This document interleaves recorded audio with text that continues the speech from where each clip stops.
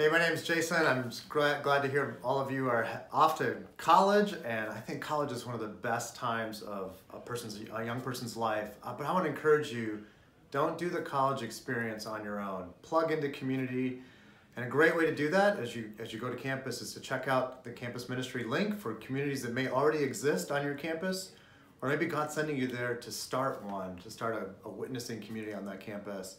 So don't do it alone. And the other thing I want to encourage you is think about the university as a place God's calling you to serve and love the whole place. And do that with a group of believers together. And again, check out the campus ministry link as a great way to find out what God may already be doing there and inviting you into.